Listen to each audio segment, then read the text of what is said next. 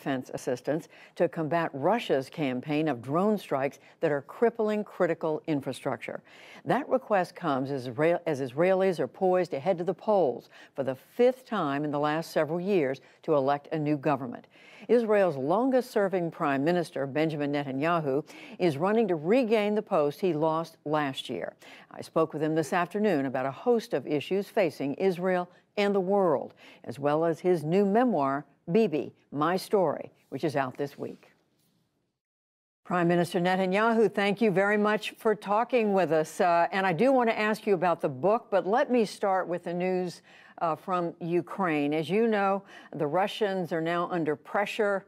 Uh, they are aiming indiscriminately at Ukrainian civilians uh, using these drones, uh, killing uh, people. this is after months of pounding civilians in that country. Is there a good defense for what uh, Vladimir Putin is doing, do you think? No, but I think that the, beyond the tragedy and horrors of Ukraine, there is a, a larger issue where this conflict is going. A year ago, it seemed that it would be contained and resolved within the confines of Ukraine, but and, and I certainly hope that that would be the case. I no longer can say that this conflict will not spiral out of control and have uh, ominous global implications. Obviously, the most ominous ones, uh, aside from uh, uh, shortage of food, shortage of uh, wheat, shortage of protein, and the other uh, horrible things that are happening that could affect countries around the world, I think the possibility of a nuclear exchange or the use of nuclear weapons, even tactical nuclear weapons, is something that I would have discounted completely a year ago.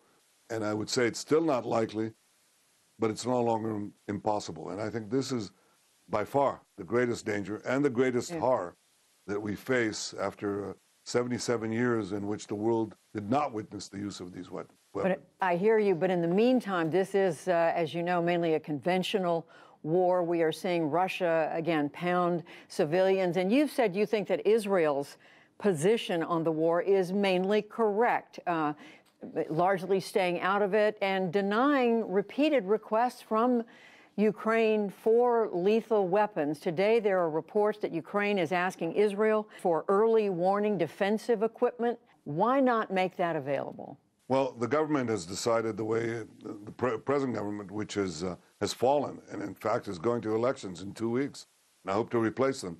They've decided what they've decided to basically limit uh, Israel's support to substantial humanitarian aid. We've taken in more uh, Ukrainian refugees, Jews and non-Jews, proportionately probably than any other country.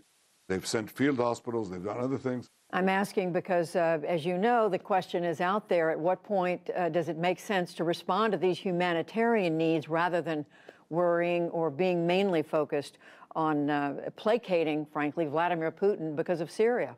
Well, it's not placating. There is a, uh, Russian and Israeli planes are literally flying next to each other, and could bump into each other and we could uh, provoke a, a Russian uh, uh, Israeli war. That's the reason there is a caution on the Israeli side. But you can ask the same question uh, why doesn't NATO intervene? Uh, because it's, it's complicated, obviously. And even though there, there are unquestionable horrors that are being perpetrated against the, Ukrainian people, the Ukrainian uh, civilians, there is the, the larger question of what happens when one side has nuclear weapons. And I think that leads to the point that I've been trying to make for decades. You know, it's bad enough that you have these nuclear weapons. Do you want Iran to have nuclear weapons right. and threaten the entire world, chanting death to America and America the great Satan? Not a good idea. And I do want to ask you about Iran in just a moment. Uh, but in some documents that were recently released, former President Obama is described as putting you in the camp of world leaders who subscribe to what he called Putinism. And we were reminded today that there were billboards in Israel in an election in 2019 that showed you with Vladimir Putin. Is he still your friend, your, uh, your ally? I don't know if he was my ally, but we had a common interest in in Syria and avoiding a, an Israeli war. And yes, I worked that uh, corridor because I thought it was in the interest of my country. It wasn't a, uh, you know, it wasn't a love affair as uh, people describe it. I also uh, disagree with uh, President Obama, not for the first time, although I respect him, I disagree with him. He was friends with Erdogan. Erdogan was uh, perhaps one of his closest friends. And I've had a running feud with Erdogan. I mean, I, I suppose our relations with Turkey have improved because he's calling me, he called me Hitler not every six hours, but every 12 hours.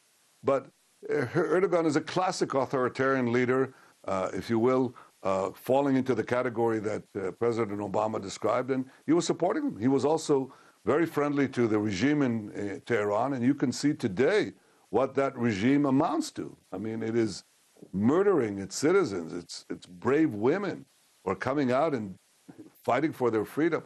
I, am sorry, no, I'm not.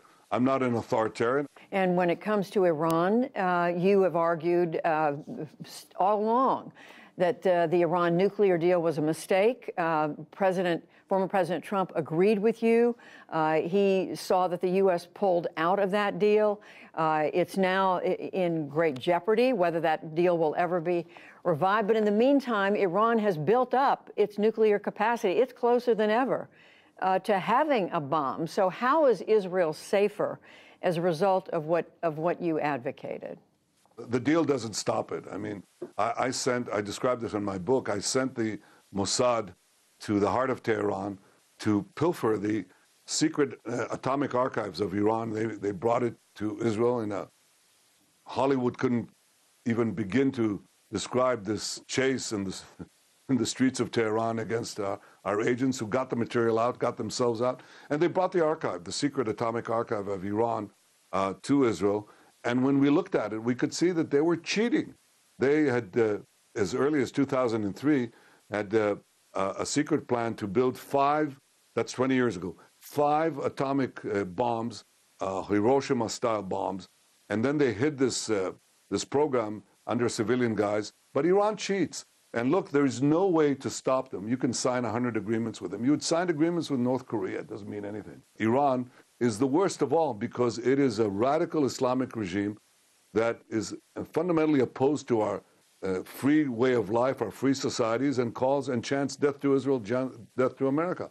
That's only going to be stopped, not by any agreement. It's going to be stopped by the combination of crippling economic sanctions and a credible military option. If you're not prepared to do that, don't hide behind the agreements. The agreements are not going to stop Iran. They merely pave Iran's path to the bomb with gold, with hundreds of billions of dollars that they use both to accelerate their nuclear program and also to foment terrorism and aggression throughout the Middle East and the world.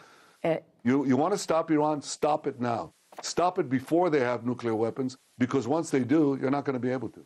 A few more questions. And in the book, I do want to focus on that. You detailed your relationships with a number of American presidents in succession, going back to President Reagan, President Bush uh, both Presidents Bush. When it comes to President Trump, it, it, looked to many of us as if you had more positive things to say about what he did for Israel, what his posture was toward Israel. And yet, Prime Minister Netanyahu, it is just in the last few days that uh, there are questions being raised about whether former President Trump has made anti Semitic uh, remarks. Uh, you saw it. He said American Jews should all support Israel, quote, before it's too late.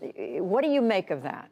Well, look, I don't think he's anti-Semitic. His daughter-in-law, uh, his daughter rather, married uh, uh, his son-in-law, who's Jewish. He converted. His grandchildren are Jewish. I'm sure he loves them. As far as Israel is concerned, I can tell you that uh, he had he did do great things for Israel, and I appreciate it. I appreciate the fact that he recognized Jerusalem as our uh, capital, which is common sense and common history. That the fact that he moved the American embassy there, that he recognized our sovereignty in the Golan Heights, from which we were attacked repeatedly by Syria, and that he pulled out of this dangerous Iran deal. So I'm, uh, uh, you know, I'm appreciative of that. Uh, but it, it, doesn't get me into the uh, thick of American politics, which uh, is thick indeed. Let me tell you, I have enough of my own politics here. Well, I'm speaking... thick, it, thick in it right now, as uh, you can imagine, because I've taken a break to, to have this conversation in the midst of campaigning. And we appreciate it. And speaking of politics, I do want to ask you very quickly about something big. It's not only where do the Palestinians go from here, what sort of life do you foresee for them in the, in the years, generations to come, but in this election at a time when your country is so divided and you are seen as a divisive figure, how do you bring your country together? if you're elected? Well, first of all, First of all, uh, you know, a lot of Israelis, the majority of Israelis prefer me to be prime minister. My, my uh, party, the Likud, is well ahead in the polls of any other party. And they recognize, too, that if we let the Palestinians, whose leaders still cling to the fantasy of destroying Israel, if we let them veto the peace agreements that we would have with the Arab world,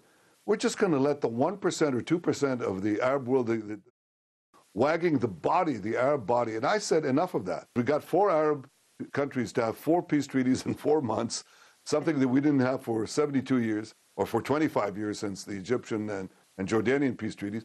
And that has created a wonderful change. And you see a home for the Palestinians in, in years to come. Yes, and I think they, they can live a, a life of dignity and a life of freedom, but security under any peace agreement will remain in our hands because if not, you'll see Iran in, uh, overtaking them and threatening us, and that won't be good for peace and won't be good for any of us. Former Prime Minister Benjamin Netanyahu, thank you very much. Thank you, Judy. Good talking to you. Thank you.